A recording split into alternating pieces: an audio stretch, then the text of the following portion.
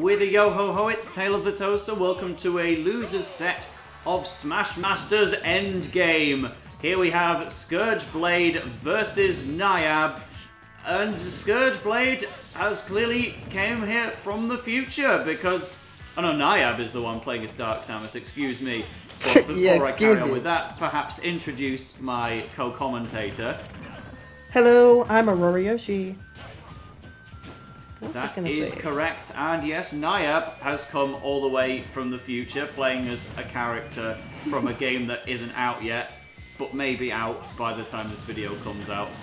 But Dark Samus, despite being a brand new matchup that Scourgeblade has never played in his life, is still not proving too much of a trouble for the Robin player. So thus far. It seems like a matchup he'd be almost familiar with. considering Dark Samus and Samus are uh, echoes. Well, You could can theorize never they play truly know all the differences between them both until the ma- the matchup has been tried. But that's not too much of a problem for Scourge right now, who is showing off and getting to land Nosferatu in mid-combat. A fairly poor effort at a spike aside, he is dominating this match. Yeah, and, and Nosferatu at like this point is just gonna make it give him more of a lead too, 'cause it gives him percent back. Now, like the percents are about even, but the stocks are not. It's very clearly in Scourge's favor as he retreats the platform. Both of them are just retreating to charge up. I think that benefits a little bit more Niab, but it's more of if he gets the opportunity to use that, it's a bigger punish and a bigger reward. Oh, he get get that roll roll. back. Scourge definitely has more to gain from camping because he's got the stock lead. This is mm-hmm. not the type of player who will generally go for a timeout win, and I don't think, even if he was trying to go for a timeout win, he probably would get the KO at some point before that happened in the next 3 minutes and 50 seconds. But there's nothing wrong with forcing the approach from Niab. It's gonna bait the man into getting spiked into the depths. It's a bit, bit risky to look for that setup too. He tried to find screw attack off the upper, but he fell out of the upper because the multi hits are a bit difficult to land. You have to space that just right to get it consistently in there. But he fell out and he just gets spiked down as a punish. Good response.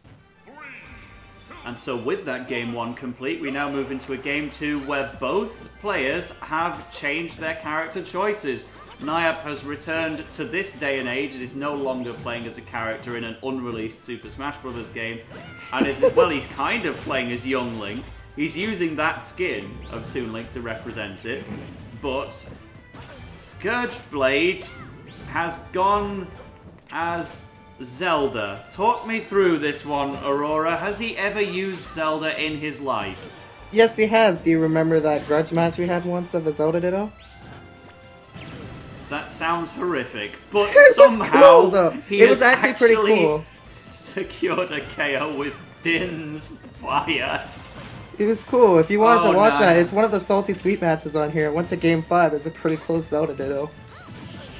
Well, the whole set was a Zelda Ditto. Yep, that was the intent of it.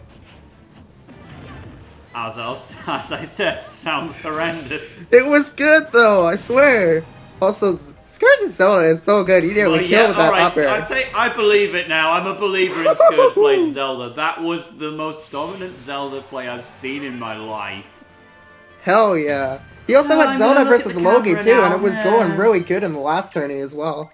So like his his Zelda is nothing to slouch at, and like NIAB, you can't even challenge anything. He nearly died to up air trying to trying to land downer.